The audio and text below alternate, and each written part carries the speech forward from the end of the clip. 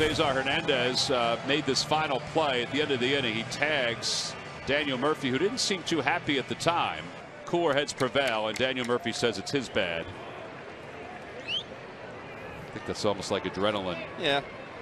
Get caught up in the heat of the moment. Here It is. This is back in the fifth.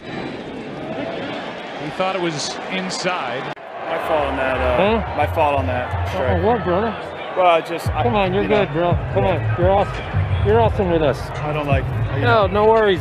You're competing. I understand. Scotty, first pitch, fouls one, first base. Votto over by the wall is there, and he can't hang on to it. The fan, look at Votto. Look. He apologizes by signing a ball in the dugout for the fan that says, Thanks for being so understanding when I acted out of character. Probably that first pitch. Now you saw what he said. My bad, brother. My bad. That first pitch got away from him when Bautista was taking, so it was Young that initiated the conversation. Oh, we hit him. Jeter hit by the pen. Oh, that's going to bring him. Been in the big leagues because he has that classic. What Java says. My bad. No intent. Moments ago, Gregor Blanco coming over to Madison Bumgarner. And you could see the way he looked up at the sky, basically saying, sorry, man, I couldn't find it in the sun. And Bumgarner shaking his hand, saying, it's all right, I got you. So there will be no perfect game tonight. Skip 5'10", 180, and he had, look at him grab his head. He was so worried that he almost hit him. Sorry about that.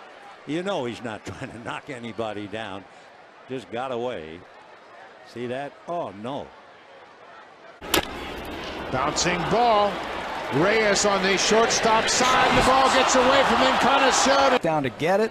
Takes him back, and it looks like he got hit right in the back of the head. It, They're talking about that right now. It's deep into the left field corner. And just beyond Alex's reach. So, excuse me, ma'am. All right. Here's a 2-0. Ground ball that's hit to second. Scooter Gennett. As Martinez throws his bat. Before Martinez went out to the mound, he went by and checked with the umpires, and you better say you're sorry. And I'm sure Mike Matheny told him to do that. Goddamn, I feel amazing. Damn,